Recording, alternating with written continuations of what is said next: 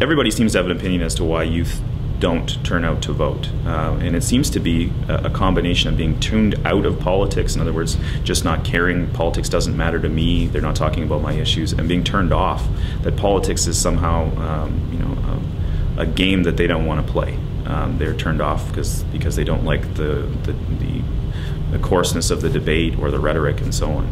So we know it's a combination of those two, but fundamentally, they, they just can, youth today conceptualize politics in a very different way than their parents did.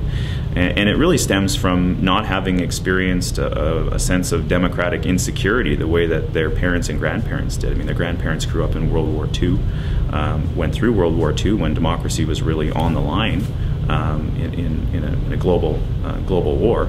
And then their, their parents have gone through uh, the Cold War in, in its entirety, where democracy again was being pitted against some kind of a mortal enemy. Um, so since 1982 and the charter, the establishment of the Charter of Rights and Freedoms, we find that youth live in, in an era, era of democratic security like we've never seen before. So while it's understandable that they would take their vote for granted, for older Canadians, it's difficult for them to understand how you could do it.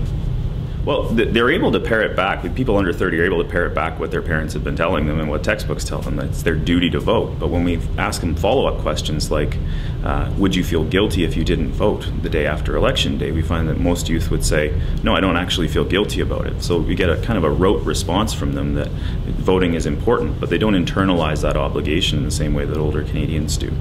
So what that means is for policymakers, for activists, for political parties, people that really want to get youth engaged, it means speaking in a, in a different language. And that's part of what this series is about, is trying to learn the language of Manitobans so that they can connect with democracy in a better way.